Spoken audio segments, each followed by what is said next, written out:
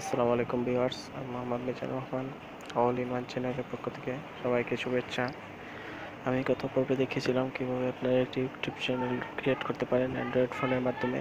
আর আজকে দেখাবো আমি কীভাবে আপনি একটি চ্যানেল কাস্টমাইজ করবেন বা চ্যানেল সেটিং করবেন। কারণ চ্যানেল সেটিং না করলেই তো দর্শকপ্রিয়তা পাবে না, কারণ চ্যানেলের কোনো প্রোফাইল বা আইকন বা চ্যানেলের কিছুই থাকবে না। চলুন দেখি কীভাবে আপনার অ্যান্ড্রয়েড ফোনের মাধ্যমে আপনার ইউটিউব চ্যানেলটি কাস্টমাইজ করবেন আপনার অ্যান্ড্রয়েড ফোন থেকে। সর্বপ্রথম ক্রোম ব্রাউজারে যাবেন। যাওয়ার পর আপনার যে ইউটিউব চ্যানেলটি গতদিন ক্রিয়েট করেছিলেন, সেটিতে যাবেন। গিয়ে এখান থেকে ইউটিউবে গিয়ে মাই চ্যানেলে আসার পর দেখবেন এখানে এইভাবে একটি উইন্ডো দেখাচ্ছে। যেখানে এই যে একটা আইকন দেখতে পাচ্ছেন, সেটাকে বলে ইউটিউব আইকন আর যাওয়ারটাকে আমরা ফেসবুকে বলে থাকি। প্রোফাইল পিকচার আমরা প্রথমে এটাকে সেট করব। এটাকে সেট করতে হলে প্রথমে আপনাকে এখান থেকে এই যে পেন পেনের মতো একটা টুল আছে, সেখানে ক্লিক করতে হবে। ক্লিক করার পর এডিটে ক্লিক করতে হবে। আমি প্রথমে বলে রাখি, এগুলো গুগল প্লাসে থেকে অ্যাক্টিভ হয় বা অ্যাড হয়, সেজন্য চলে যাবে গুগল প্লাসে এদিকে আপনি এখানে ক্লিক করতে পারেন, এই যে প্যান প্যান বাটনে ক্লিক করে করে পিকচারটা চেঞ্জ করার জন্য এই ক্যামেরার উপরে ক্লিক করতে হবে।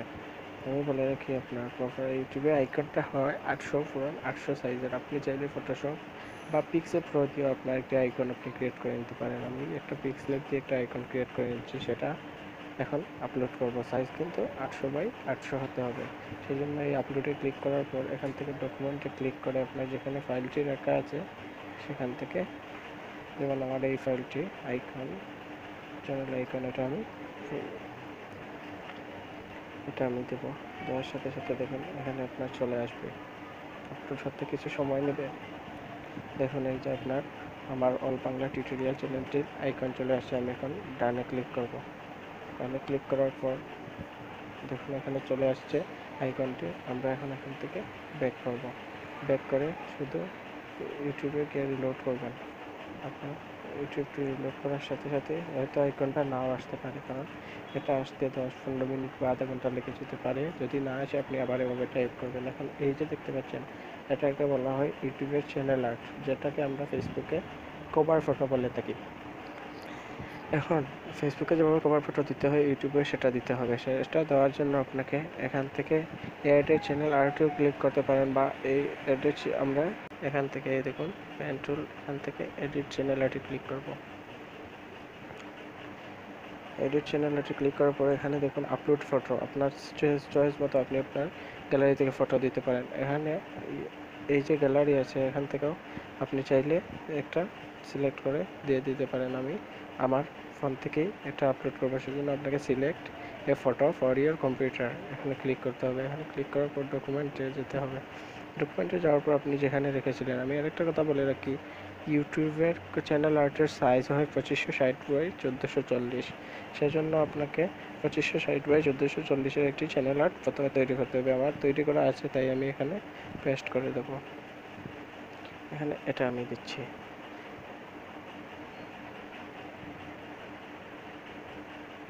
আপলোডিং হতে একটু সময় নেবে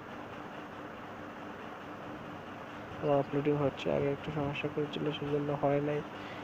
এবারে দেখুন, এই যে চলে আসছে। আপনি চাইলে আপনার যদি ফটোটা সাইজ করা না থাকে, তাহলে আপনি এখান থেকে দেখুন অ্যাডজাস্ট দ্য গ্রুপে ক্লিক করে আপনি আপনার এটার সাথে অ্যাডজাস্টেই দেখুন, আপনি অ্যাডজাস্ট করে নিতে পারবেন। যেহেতু আমারটা সাইজ দেওয়া আছে, সেজন্য আমাকে আর অ্যাডজাস্ট করতে হবে না। সেজন্য আমি সরাসরি সিলেক্টে ক্লিক করব। সিলেক্টে ক্লিক করার সাথে সাথে দেখুন এখানে সেভিং দেখাচ্ছে।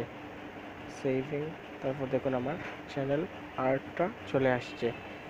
এখন আমরা যেটা করতে পারি সেটা হচ্ছে এই জায়গায় আমরা কয়েকটা মেনু বার আনতে পারি। যেমন এখানে দেখুন আপনারা এই যে দেখুন এখানে home playlist videos video channel এবং এগুলোর মতো এগুলো আনতে হলে আমাদের যেটা করতে হবে সেটা হচ্ছে এই সেটিংয়ের মতো যে আইকন আছে সেটাতে ক্লিক করতে হবে। ক্লিক করে customize the layout of your channel সেটাকে অ্যাক্টিভ করতে হবে। সেটা অ্যাক্টিভ করার পর এখান থেকে এই সেভে ক্লিক করতে হবে। সেভে ক্লিক করার পর কিছু সময় অপেক্ষা করলেই দেখবেন এখানে কয়েকটি চ্যানেল মানে কয়েকটি মেনু বার অ্যাড হয়ে গিয়েছে home video playlist channel about ইত্যাদি। এখন আমরা দেখতে পারি যে কীভাবে এই যে এখানে এখানে বা ওয়েবসাইটে কিছু লিঙ্ক অ্যাড করা যায়। সেটা হচ্ছে দেখুন, এখানে এই যে ফেসবুক আছে, এভাবে আমরা একটা লিঙ্ক অ্যাড করতে পারি। সেটার জন্য হচ্ছে আমাদেরকে এই যে এখান থেকে এখানে ক্লিক করে এডিট লিঙ্কস অথবা অ্যাবাউটে ক্লিক করে